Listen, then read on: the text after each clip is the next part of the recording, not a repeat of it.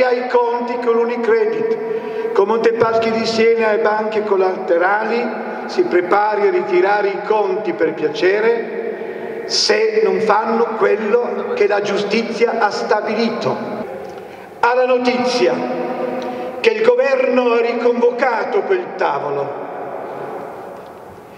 L'ha riconvocato e noi tutti vigileremo perché questo avvenga. Io vi chiedo, non ho titolo se non l'affetto e l'amicizia, sospendete lo sciopero, si attende per piacere che quel tavolo dia delle risposte, se non le darà concretamente io, lui, tutti noi, tutta libera, che sono 1600 associazioni, vi garantisco, faremo insieme a voi lo sciopero della fame. Se non si va alla concretizzazione, noi chiederemo ufficialmente ai cittadini onesti di tirare, di togliere i conti bancari da quelle banche. Se sono onesti devono togliere i conti bancari.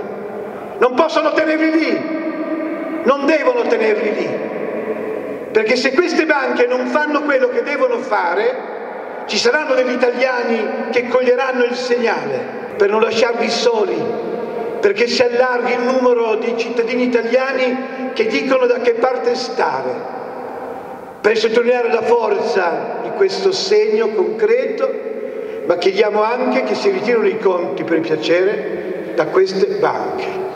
Ci sarà della gente pulita che dice faccio anch'io un gesto, faccio anch'io un segno.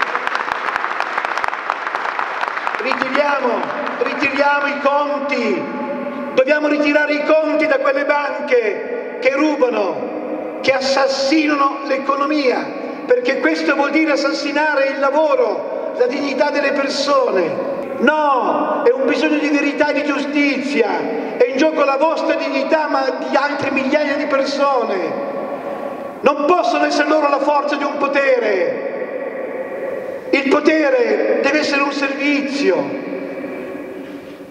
c'è una giustizia che ha decretato che tutto quello che è stato fatto era illegale, c'era una violenza, si è commesso un crimine.